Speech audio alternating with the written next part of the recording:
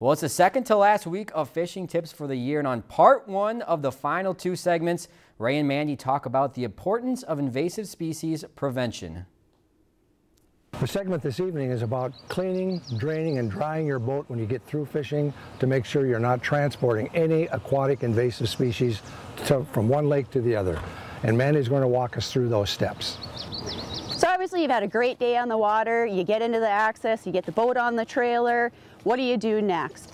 We're gonna follow Ray here and we're gonna follow right through it. It's the clean, drain, dry method. So first of all, what Ray is doing, he's looking on the trailer on the bottom of the boat, specifically looking for any kind of vegetation that may be stuck there. So all vegetation, uh, no matter what it is, needs to be taken off of the bunks, taken off of the trailer, and taken off of the boat. Ray is now going to drain the boat. He's pulling the plug on the boat to let any water that could have possibly gotten in there drain. No water. Next, he's going to drop the motor and let the rest of the water in the lower unit drain out.